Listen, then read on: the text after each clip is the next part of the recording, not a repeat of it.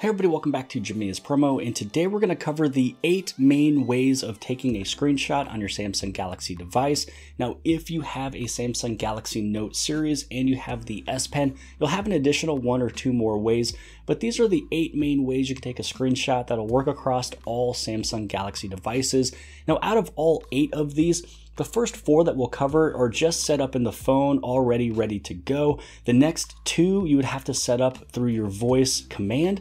And then the very last two is actually a part of two main applications that most people download anyways if they own a Samsung Galaxy phone. Now before we dive deep in all eight ways of taking screenshots on your Samsung Galaxy device, and before I share with you my favorite way and most preferred way of taking a screenshot, make sure you guys hit on that subscribe button. It is free to join this party. About 83% of you watching this video are non-subscribers. So again, hit that subscribe button if you appreciate the video and you learned something. And don't forget about that bell on the top right hand hand side, click on all so you get notified for all future videos so you don't miss any future tips and tricks. Now the first method of taking a screenshot on your Samsung phone is the old tried and true way of the physical buttons, which is volume down and power. Now it's not a press and hold, it's just basically a press with both of them at the same time. And it takes a little bit of practice to make sure you don't hit volume down first, because if you hit this one just right before the power, you might get your volume rocker inside of that screenshot. And if you do have a bigger, fatter thumb, the nice thing with the S20 series is that you can press both at the exact same time. So that's also pretty handy. Now, if you're not able to use the physical buttons to take a screenshot, you are able to do a palm swipe to capture. So if you hold the phone or if it's on a table, you swipe from one end to the other with the side of your palm. You can do it from the left to the right or from the right to the left. Now, if yours is not working, if it's not turned on, what you want to do is go inside of your settings. You're going to scroll down to where it says advanced features. And then underneath advanced features, you're going to scroll down to where it says motions and gestures. And then inside of motions and gestures, this is where you turn on palm swipe to capture. This should be on the moment you get your phone. Actually, all of these are the way it's supposed to be when you first get your phone. The only one turned off is smart stay. Now, if palm swipe to capture is not easy enough for you, you can actually go inside of your little edge panel and make sure you have tasks turned on. So underneath the settings for your edge panels, make sure that you have, you know, scrolled through here, you turned on tasks because the easiest way and actually my preferred way is this one right here. So all you'd simply have to do is take a screenshot, is open this up, hit one button, boom, done, ready to go. I like this one because it's built into the phone. I don't have to do it by voice. I can do it quietly. I don't have to download another application. It's just going to be right there. I don't have to hold it a certain way. Don't have to hit physical buttons. So that one is my favorite way to take a screenshot. The next way you can do it is actually through here as well on your edge panel, but it's when you move over into Smart Select. Now, this is a way that you're able to really customize what you want to take a screenshot of. And maybe you don't want to save it to your phone, you just want to send it off inside of the Twitterverse or inside of Instagram. You can go right over here. If you only wanted to select this area to actually save, you just hit on done. And then this is a way that you can either share it with other people, you can move back and it's not cluttering your gallery like all the other screenshots that are now in there, or you can hit on this little uh, down button that can uh, save it to your phone. The nice thing too is sometimes you get into an email or you get into some type of text document that you really can't copy and paste it. You can't press and hold. This is a way that you can actually extract the text from there if you needed to send off something in an email or log into a website. So extracting text is also really nice with this Smart Select option of taking a screenshot. Now the next two ways of taking screenshots is by voice activated. It's going to be Bixby as well as Google. Now you first want to go inside of your Samsung folder or wherever Bixby is located. When you open up Bixby, go on the top left hand side and then on the top right hand side, click on that little settings button. And then you're gonna go right over here into this little voice wake up. You can talk about how the sensitivity is there. Uh, and then inside of here, you can use it even with your phone speakers playing. So if you're listening to music, but I usually have that turned off. The wake up sensitivity, you can put as medium or high. And if you do need to improve your voice wake up accuracy, you can actually just keep on recording, you know, Hi Bixby and such like that. So then this way you'd be able to get it done. And so it already picked up my voice. So let's do it through this option. Hi Bixby. Take a screenshot.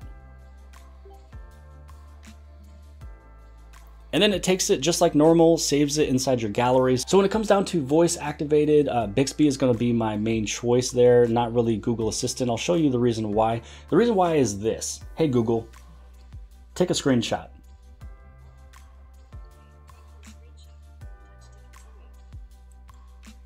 So what happens is it took a screenshot, but then it automatically popped up with ways of sharing it, and you're not having the ability to actually save it to your phone. So this is a way that you can't keep it on the device, but if you need to share something really fast, uh, you can do it that way, but you do have to go through settings to also get this one to work. So how you're able to turn on the Google Assistant to get this done is you wanna click on that little G or go inside the Google Assistant on the bottom, but I'm gonna show you from this, this point of way here. So click on More, then you go inside of settings. And then inside of settings, you go to that Google Assistant. So if you went inside your Google Assistant instantly, this is the screen that you see. But this is where you want to go to Assistant, because again, this is who is trying to take your screenshot. Go to the very bottom and click on phone. This is where you can turn on the Hey Google option, the voice model if you needed to learn your voice again. But go to the bottom this is what you need to turn on. If you do not turn on use screen context, it would not be able to take that screenshot for you and it's just gonna load and load and load and it doesn't take the screenshot or allow you to hit any type of share option. Now moving over into the last two, these ones are using applications. Now what I do need to do is actually go inside my settings and I have to change my, my navigation bar. So we're gonna go inside of display we're gonna go down to the navigation bar because I do need to have the functions on the bottom, the buttons. And so because you're using full screen gestures, you won't be able to do these two.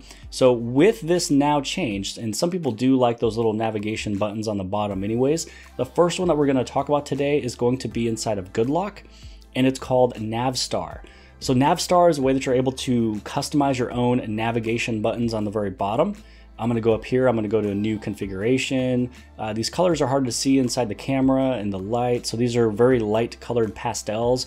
Uh, button layout, I'm gonna go here and I'm gonna hit on add button. And now this right over here is where you find the option of screenshot or screen capture. Now, if you want to add in another button, you can, but for this purpose of the video, I just want to show you that you can do it through here, and these icons all look perfect. Now we're to hit on save.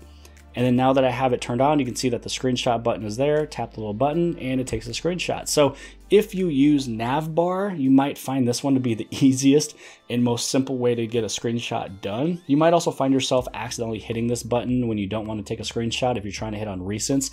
But back when I was using Navstar and I was customizing all my buttons, this was the easiest way to do it. But because I like my, my gestures, I do prefer, again, this option right over here, which is going to be inside of tasks, boom, take screenshot. So you can do it here through Navstar. And then the very last way is going to be, again, inside of GoodLock, but you don't have to download this one from GoodLock. It's actually inside the family. You can get it from the Play Store. This is the One Hand Operation Plus. Now, when you turn on One Hand Operation Plus, how I have mine set up already, you can actually see it, is I only have turned on my left handle. When you actually open the app for the first time, uh, I don't want to do anything on the right side. I'm actually okay. But on the left handle here, you can do a swipe or a straight right, and you have all these options of what all of these are able to do. And I just scroll down over into screenshot, and then right over here for the diagonals, you can have it do more stuff, but I have both of them set to none. So now what's going to happen is now that I have this one all set up, any point in time when I swipe right there, it's going to take a screenshot for me. Uh, all my navigation buttons are still here. I even still have my screenshot option right there. But let's say that you're inside of an application, you need to take a screenshot and you don't want to have this little nav bar thing on the bottom, but you are still using the navigation buttons. And what you're able to do is just swipe there, boom, screenshot. So very simple. This is eight different ways of taking a screenshot on your Samsung Galaxy device. Again, if you have a Galaxy Note phone, you do have the S Pen that does allow for a few extra ways of taking a screenshot with the button and everything else. But I hope this, this video was informative. Maybe you learned a new way, but make sure you guys give this thing a huge thumbs up. Don't forget to hit subscribe. Subscribe right over here in the very bottom left-hand side. And if you like this video, then more than likely you'll also like this video. And I'll see you guys later.